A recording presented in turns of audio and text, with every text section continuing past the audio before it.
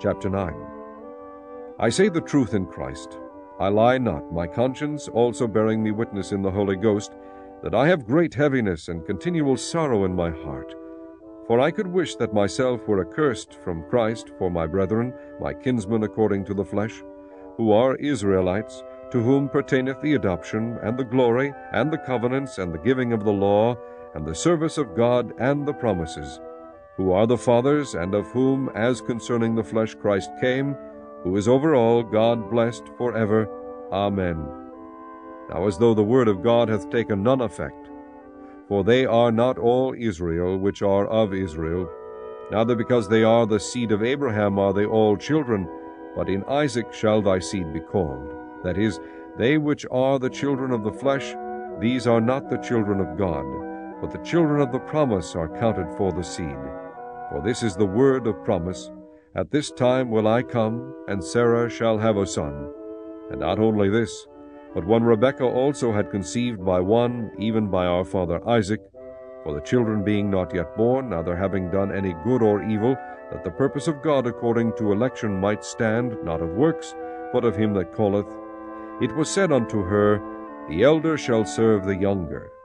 As it is written, Jacob have I loved, but Esau have I hated. What shall we say then? Is there unrighteousness with God? God forbid. For he saith to Moses, I will have mercy on whom I will have mercy, and I will have compassion on whom I have compassion. So then it is not of him that willeth, nor of him that runneth, but of God that sheweth mercy. For the Scripture saith unto Pharaoh, Even for this same purpose have I raised thee up, that I might shew my power in thee, and that my name might be declared throughout all the earth.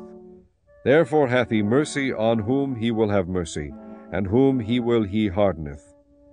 Thou wilt say then unto me, Why doth he yet find fault? For who hath resisted his will? Nay, but, O man, who art thou that repliest against God? Shall the thing formed say to him that formed it, Why hast thou made me thus? Hath not the potter power over the clay, of the same lump to make one vessel unto honor, and another unto dishonor? What if God, willing to shew his wrath, and to make his power known, endured with much long suffering the vessels of wrath fitted to destruction, and that he might make known the riches of his glory on the vessels of mercy, which he had afore prepared unto glory, even us, whom he hath called, not of the Jews only, but also of the Gentiles. As he saith also in Osee, I will call them my people which were not my people, and her beloved which was not beloved. And it shall come to pass that in the place where it was said unto them, Ye are not my people, there shall they be called the children of the living God. Esaias also crieth concerning Israel, Though the number of the children of Israel be as the sand of the sea, a remnant shall be saved. For he will finish the work and cut it short in righteousness, because a short work will the Lord make upon the earth. And as Esaias said before, Except the Lord of Sabaoth had left us a seed, we had been as Sodoma, and been made like unto Gomorrha. What shall we say then? That the Gentiles which followed not after righteousness have attained to righteousness, even the righteousness which is of faith?